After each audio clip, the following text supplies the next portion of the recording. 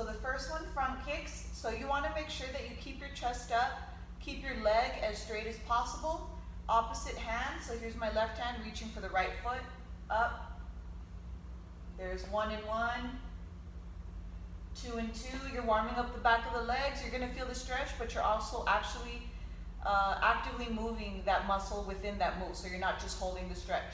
So from this angle, remember chest up, one, one, two, two. Flex the foot for a total of 20, 10 on each side.